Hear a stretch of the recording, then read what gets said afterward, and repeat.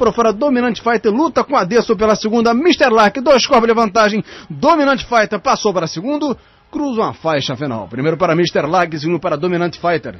Depois Adesso, Mr. Drone, Brownser, selo francês e Hero Brave. Resultado do quarto páreo.